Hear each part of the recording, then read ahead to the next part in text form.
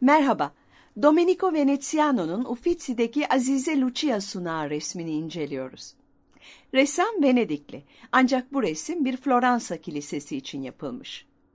Orijinalinde ana panelin altında predella panelleri de denen resim şeritlerinden beş tane daha vardı.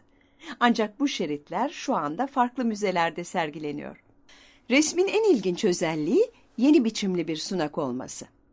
Önceden sunaklar farklı panellere yerleştirilmiş figürlerden oluşurdu ve altın yaldızlı çerçeveleri olurdu.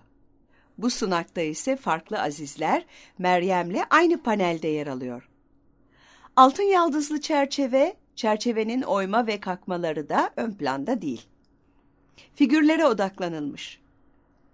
Mekan çok daha gerçekçi. Gerçekten bu içinde bulunmaya uygun bir alan. Önceki yüzyıllarda mekanlar gerçekçi değildi. Masacco'nun kutsal üçlemesi, doğrusal perspektifin kullanıldığı ilk gerçekçi mekan betimlemesi olarak tanımlanabilir. Bu resimden 20 yıl önce çizilmiş. Bu resimdeki mekan Masacco'nunkine göre oldukça ayrıntılı. Yeşiller, kırmızı tonları, beyaz mermer bana Floransa'da gördüğümüz mimariyi hatırlattı. Özellikle karo zemindeki doğrusal perspektif açısından bir başyapıt. Sanatçı, yere düz bir karo hattı çizmekten çok daha fazlasını yapabilirim demiş gibi.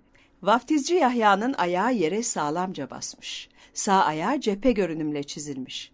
Yine Massacco'dan ilham alınan hafif bir gölgesi de var. Brunelleschi ve Massacco'nun 1420'lerde ve 30'larda yaptıklarını bir araya getirmiş. Figürlerin duruşlarında da özel bir yaklaşım var.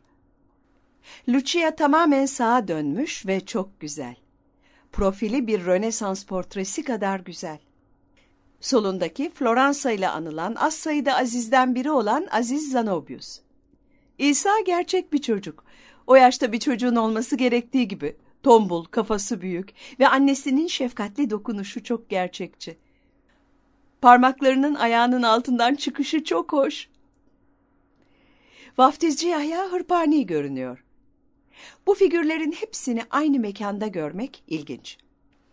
Kronolojik olarak bakıldığında Meryem ve İsa bu tablodan 1500 yıl kadar önce yaşamış.